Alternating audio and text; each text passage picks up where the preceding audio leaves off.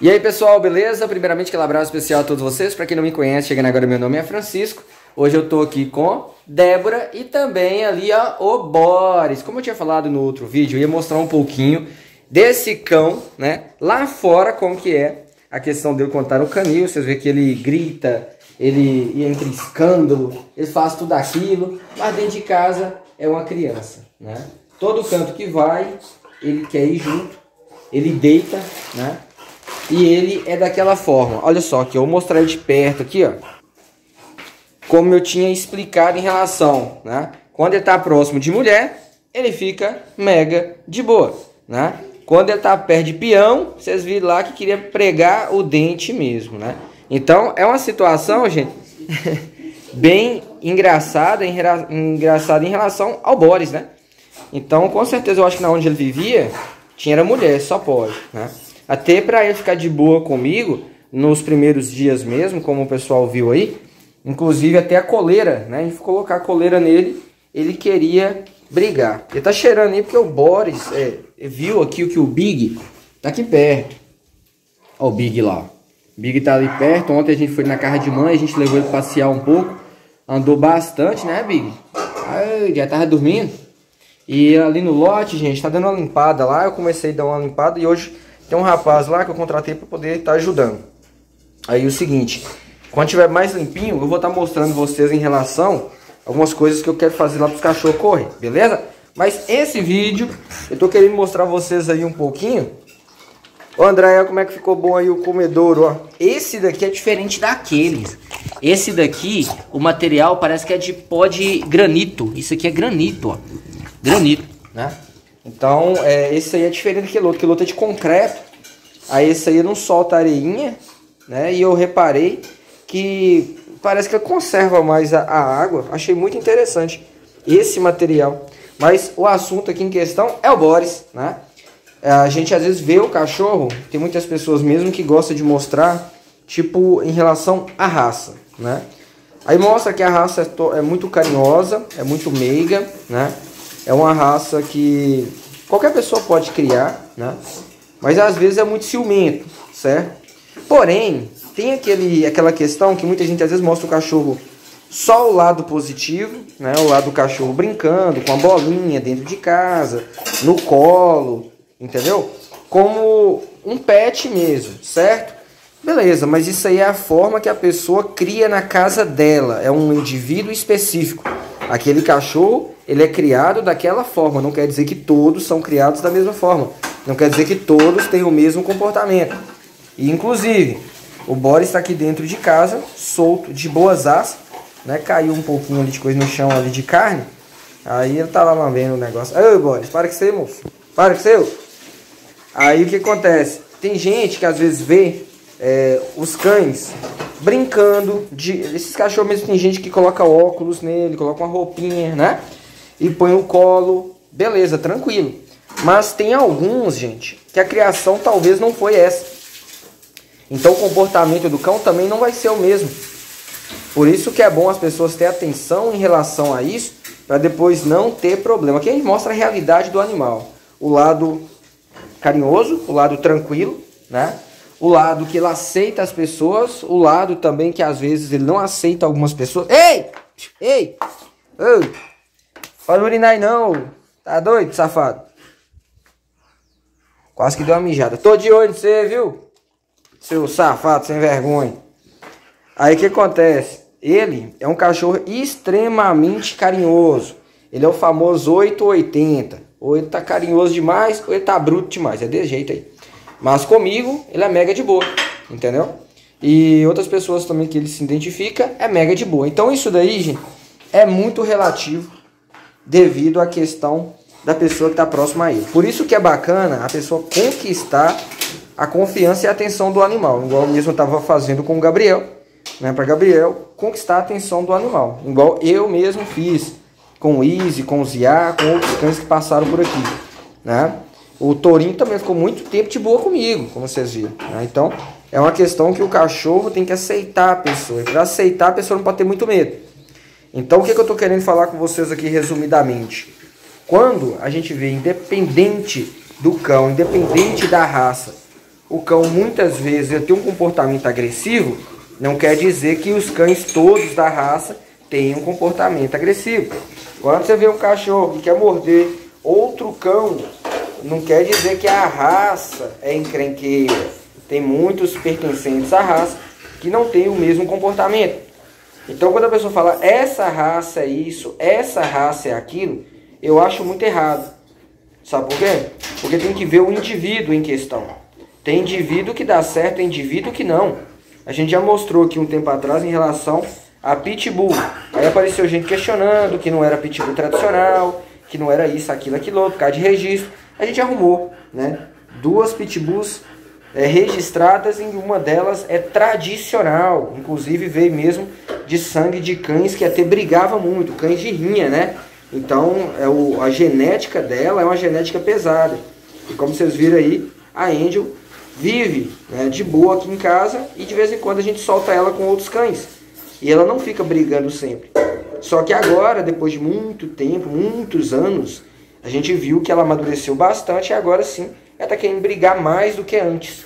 Mas até um tempo atrás ela vivia normalmente aí, né, soltando ela, até com o barão, com os outros cães, e ela não brigava muito. Então quer dizer que todo pitbull é só soltar briga? Não. Todo pitbull pode viver a vida inteira em matilha? Não. Entendeu? Então vai do indivíduo em questão, vai da genética que ele porta. Tem inúmeros cães aí que ele, é, o comportamento da raça não tem nada a ver com agressividade. E tem alguns que acabam tendo agressividade. Esse cachorro mesmo que a raça dele é uma raça tranquila. Mas é um cachorro que se for para vigiar uma casa, ele vigia.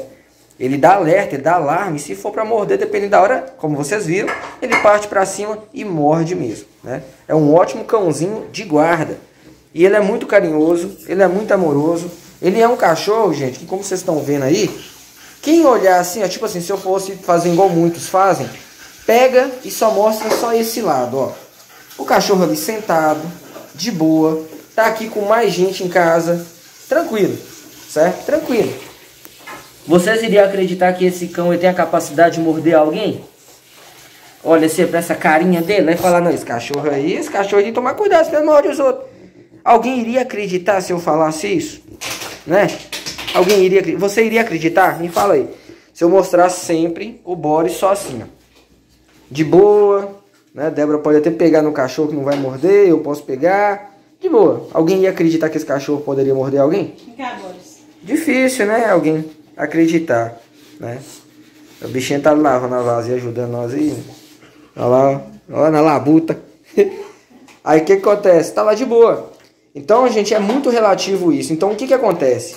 Às vezes o cachorro quer morder, é por causa de ciúme, é por causa também da questão da síndrome do abandono, porque às vezes o cachorro acha que você vai deixar ele sozinho durante muito tempo, por isso que sai de perto e desgrama latindo, desgrama gritando. Tem cachorro que é desesperado, né? Infelizmente ele acha que vai ser abandonado a qualquer momento. Então, por isso que é dessa forma. Quando chega, ele fica mega carinhoso. E quando outra pessoa se aproxima, ele fica agressivo, fica bravo. Por quê? Porque ele não quer dividir a atenção do dono com outras pessoas. Ele não quer dividir a atenção do dono, né, do tutor, com outros cães. E às vezes ele acaba ficando territorialista e acaba mordendo outros cachorros, mordendo outras pessoas. Inclusive, late muito, mostra que é um cachorro dominante, mostra que é um cachorro que tem potencial para atacar, para proteger, por causa que tem na genética dele alguns, né, alguns é, ancestrais aí que realmente fazia a proteção. E outra, ele quer demonstrar também que ele pode proteger o dono, ele quer mostrar para o dono que realmente ele está ali para poder somar, entendeu? Então por isso que o cachorro muitas vezes ele só late os outros, ele só briga com outros cães quando você está perto. Às vezes quando você não está perto, ele é de boa com outras pessoas e é de boa com outros cães. E é só você se aproximar que o cachorro quer brigar com o outro. Então tem que ficar de olho nesses sintomas, né? Que muitos cães têm aí. São reações aí que infelizmente pode acabar gerando uma briga né, entre vários cães devido um cachorro ali entre eles que começou a briga. Entendeu? Então é muito relativo essa questão de comportamento de cães. Por isso que aqui a gente mostra os dois lados do cão. A gente apenas não mostra o lado carinhoso dessa forma. Por quê? Porque quando o cachorro vem para cá e tá para adoção, inclusive esse tá para adoção, mas eu tô com muita dó mesmo essa questão, porque a pessoa tem que ter consciência de como que o cachorro é, certo? E depois que o cachorro se apegar à pessoa, pegar confiança e tudo, não tem mais ninguém que chega perto. Achou até um brinquedinho ali. Não tem mais ninguém que chega perto, porque ele vai realmente sim fazer proteção. Esse cachorrinho aqui é daquele que, se a pessoa colocar ele numa guia, sair para passear e outras pessoas chegar perto e ele realmente gosta da pessoa que está com ele, você pode ter certeza que você vai ter um, um cão de guarda do lado. Mas quem não tem atenção, quem não tem paciência em relação a isso, muitas vezes vai fazer o quê? Aqui, tá roçando aí, querendo, querendo fazer um cafuné na cabeça dele. Querendo carinho. Aí pra você ver. Então a pessoa olha o cachorro desse e fala, não, esse cachorro não morde não, pô, tá doido? Cachorro manso desse morde? Não, morde não, esse cachorro aqui é mega de boa. Aí vai adota o cachorro, né, sem entender mais ou menos como que é a personalidade do cão, e depois volta e devolve com o cachorro machucado, né? Às vezes briga com outro, às vezes sem querer ali o cachorro né, acaba mordendo. O que, que é que você tá trazendo isso pra cá? Você quer me jogar pra você? Olha lá. Então a gente tem que ficar ligado em relação a tudo isso, tudo isso mesmo. Porque, igual eu falei, é fácil a gente pegar um animal e mostrar apenas a questão mesmo, olha lá, mostrar apenas a questão do lado meigo, sendo que na realidade ele não é 100% assim, entendeu? Não é, e nem sempre quando ele rosna, ele quer, ele quer morder, nem sempre quando ele late, ele quer morder, e nem sempre quando ele morde para morder, realmente é para morder. Agora mesmo ele tá aqui do meu lado fazendo uns barulhos doidos, Tipo, olha lá. Querem brincar, entendeu? Só que é o seguinte, uma criança às vezes vê isso aqui fazendo e leva a mão.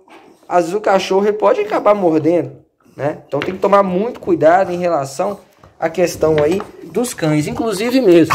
Ó, ó, aqui ó, ó, tá vendo como que ele é territorialista? Estou falando. Uma criança às vezes leva a mão para pegar o brinquedo e pode acabar sendo mordido. Viu aí como que é a questão do comportamento? Ó. Ó. Tá vendo? Viu aí como que o cachorro é territorialista? Possessivo. Ó. Vira aí o bote.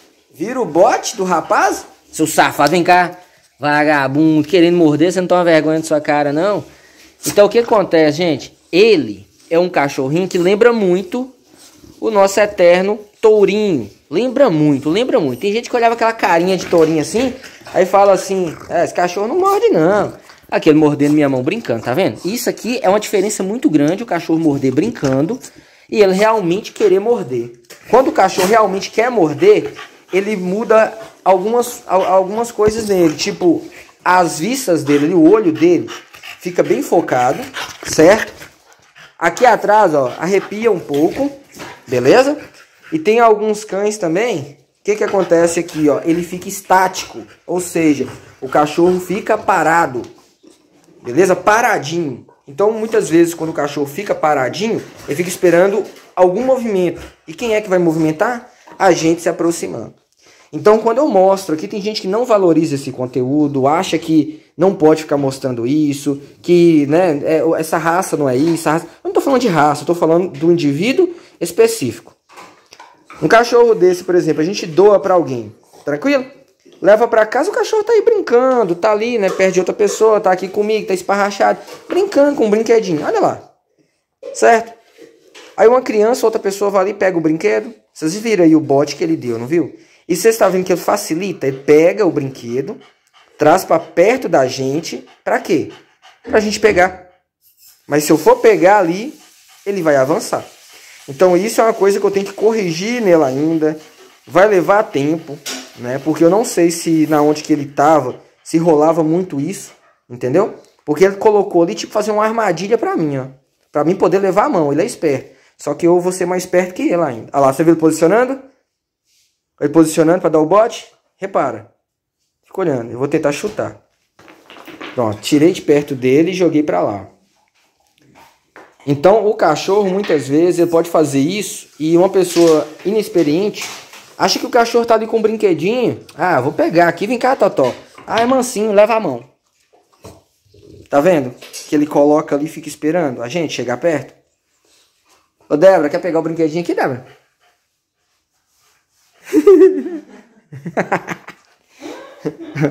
Ó a cara. Repara.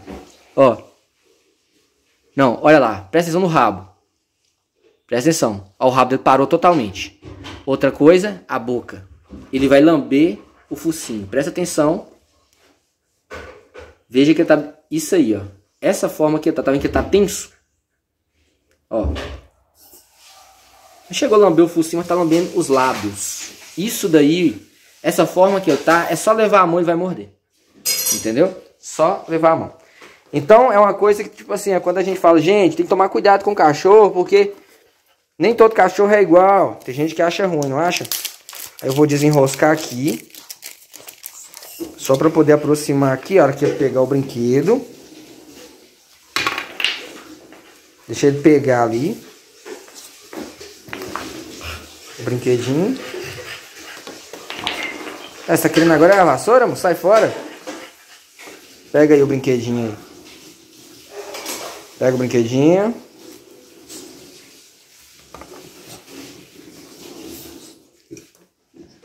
Aí, pegou o brinquedinho.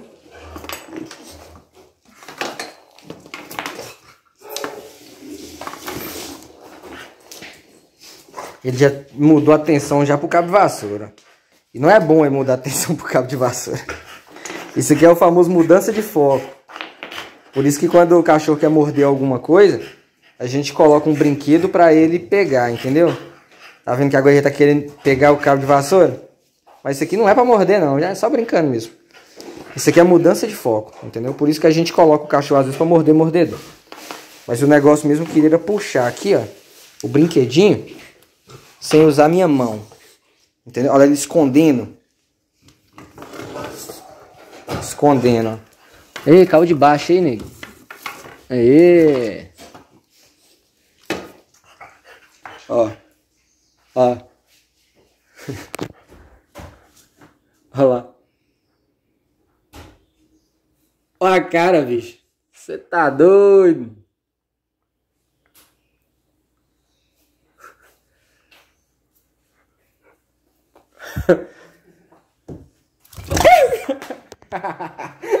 Você tá vendo aí, ó. Isso aí é por causa de quê? Por causa de um brinquedinho ali, ó. Entendeu? Então ele é um cachorrinho ele é muito carinhoso, mas ele é um cachorro muito possessivo.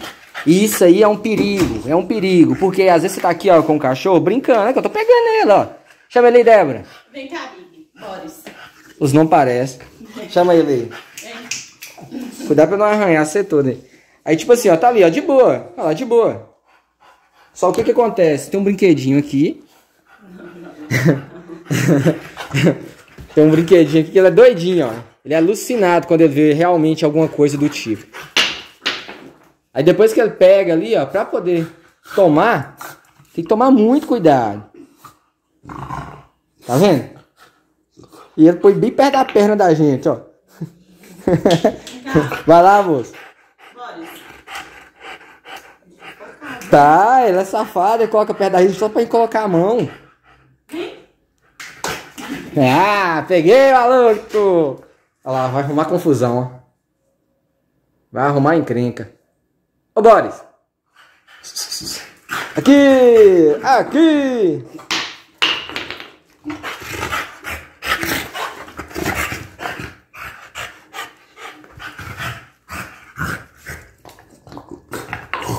Então é isso que eu queria mostrar a vocês, entendeu? Mesmo um cachorro mega dócil, mega de boa lá, ó, com outras pessoas aqui comigo, né? às vezes o cachorro tem algo que ele acaba fazendo o quê? Ele acaba pegando aquilo como tipo assim, é meu e ninguém pega, entendeu? Talvez na onde que ele vivia, na casa onde que ele morava, talvez ele tinha brinquedinhos assim, e isso foi desde filhote, desde pequeno, né? Em relação a essa questão de ele ser territorialista, né? As coisas ali que é dele, é dele e tal, entendeu? Eu não sei como que foi realmente a criação. Então, quando você tiver um filhote e o cachorro ele tiver com esse comportamento, tá vendo lá, tá querendo brigar com outro cachorro. Tiver com esse comportamento, você já corrige desde filhote. Beleza? Desde filhote, porque esse cachorro não é um filhote. OK? Ele não é um filhote. Então tem que tomar muito cuidado, porque às vezes desenvolve esse comportamento aí, ó. Depois, depois fica complicado. Tá vendo aí? Tá como que é a situação? Aí tem gente que fala, não, é de boa, de boa, tá. Mas é aquela coisa. Nem todo mundo tá preparado para poder ter um, um cachorrinho com um comportamento assim. Você tá entendendo? A diferença aqui é uma coisa da outra. Olha lá, é mega carinhoso e ao mesmo tempo explosivo para poder brigar com outro cachorro. Olha lá. Viu? Oxi, nossa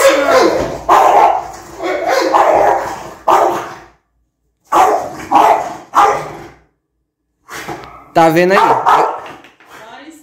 Aí eu te pergunto, é todo mundo que tá preparado realmente para poder mexer com um cachorrinho assim? Então, por isso que aqui a gente mostra o comportamento do cachorro na guia, com outras pessoas, com outros cães, dentro de casa, o comportamento do cachorro tranquilo e também o comportamento do cão quando chega nesse momento que às vezes a pessoa quer adotar o animal, mas não tem noção de como é a situação. E quando a gente explica, tem gente que não entende, entendeu? É como eu tô falando. Quer dizer que a raça é assim? Não. Mas o comportamento do cão, ele é extremamente afoito. Ele é extremamente ignorante brigar com outros cães. E também, questão, você está vendo aí que se ela, por exemplo, tivesse sendo protegida, por exemplo, ele ia fazer a, a proteção. Bo Boris!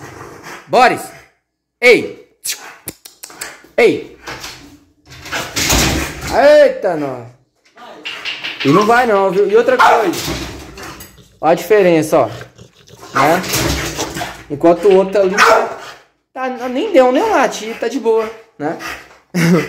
Você vê como que é a situação, né, gente? Mas é isso, passando aqui apenas para mostrar vocês um pouco da reação do Boris, mesmo carinhoso, meigo, dentro de casa. Tem que tomar certos cuidados em relação a isso, entendeu? Porque isso daqui, ó, o cara mesmo que levou pra ele, de madrugada entrou em contato para buscar o cachorro, porque o cachorro ficou assim na porta, pulando na porta, rosnando, mas na verdade queria entrar pra dentro de casa, entendeu? Aí depois tomou coragem, foi lá, pegou o cachorro e segurou, e eu trouxe o cachorro. Ok?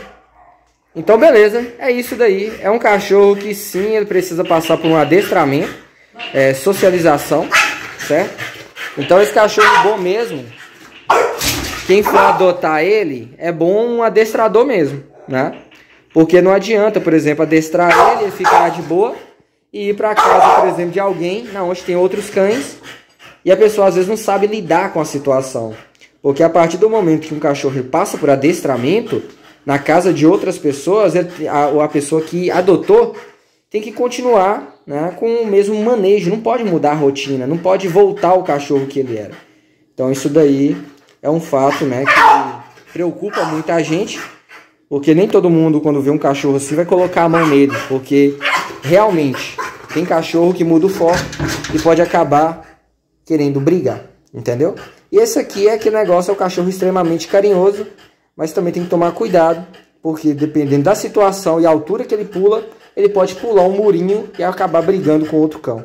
E também pode partir para cima de alguém infelizmente acabar mordendo. Mesmo que é um tuquinho de marragé, ele pode acabar mordendo, entendeu? Então tem que ficar ligado em tudo isso daí. Ok? Tem alguma dúvida? Sugestões? Comenta aí, deixa seu feedback, pois é muito importante a participação de todos. E mete um like aí, se inscreva no canal se não é inscrito. E até o próximo vídeo. Tchau, tchau, gente! Como vocês viram aí a reação do Boris aqui dentro de casa e também o pessoal que vem acompanhando viu a reação do Boris lá fora com outros cães. No próximo vídeo vou estar mostrando aí um pouco em relação à questão do barão, gente. Inclusive solto aqui em casa com Débora, como que é a reação do cachorro aqui dentro. Sem focinheira, sem guia, sem nada. Vocês vão ver como que é o comportamento. Inclusive quem tem preconceito sobre a raça Pitbull vai ter uma impressão diferente em relação a isso. Beleza? Te espero no próximo vídeo. Tamo junto!